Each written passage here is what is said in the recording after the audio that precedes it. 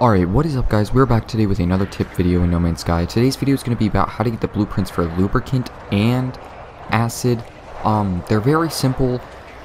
You guys are going to be missing a little bit. I'll uh, go over briefly how to get to this point verbally, but if you guys want to see videos on how to actually do it, I'll link them in order up on the top. They have nothing to do with actually getting them, it's just shown in the video how you get to this part. So, just to briefly verbally overview it, uh, you're going to need a construction terminal and you're going to have to go con hire a construction overseer. It's pretty simple. It's honestly not that hard. Um, you can build the construction terminal and it will like tell you to go to a space station to hire a construction overseer.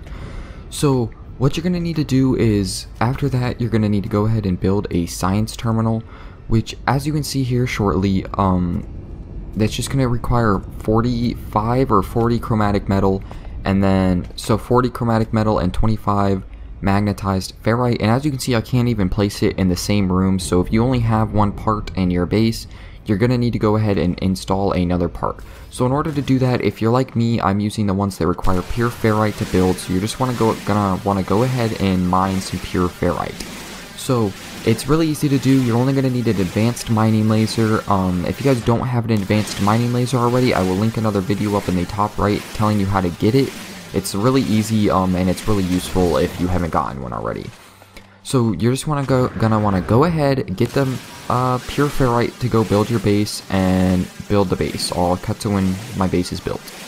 Alright guys, now that you've added another room into your base, go back in and uh, go ahead and go inside that new build or new building and you're going to want to go ahead and build that science terminal again it's only 40 chromatic metal and 25 magnetized ferrite it's really easy to build and once you build it a little pop-up should come up saying you need a Korvax entity in order to become a for a uh, science terminal overseer so the way to do that is uh, you're actually going to need to go to your space station.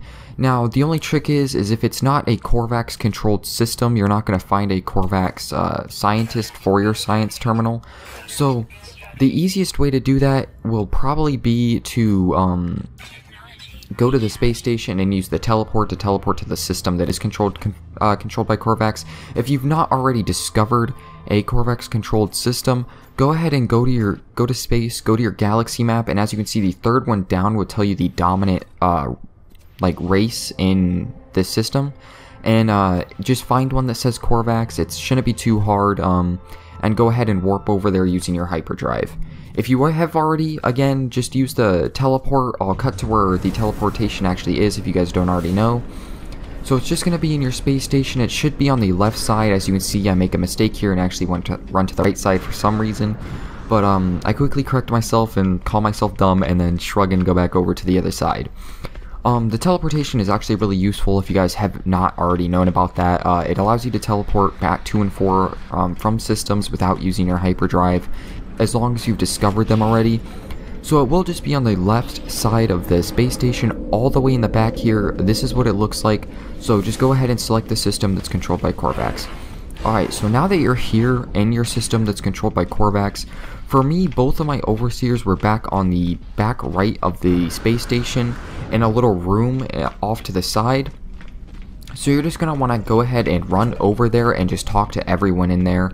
Um, it really shouldn't be that hard. I mean, there shouldn't be that many people in there, so just go ahead and talk to everyone.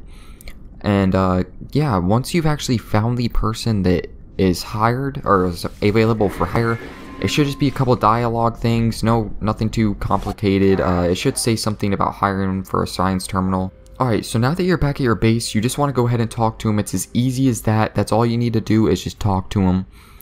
And after you finish talking to him, you just hit request aid and he'll give you the two blueprints. Um, as you can see, blueprint for lubricant and acid. And yeah, I mean, they're really important for early game money making methods if you already have a farm. Um, if you don't already have a farm, uh, you're kind of out of luck, but they will be useful for money methods later in the game when you actually make a farm and you have the tier 1, tier 2, tier 3, and tier 4. Um, if you guys don't know what I'm talking about, I'll actually link another video up top, kind of uh, where I in a video where I kind of explained it a little bit more.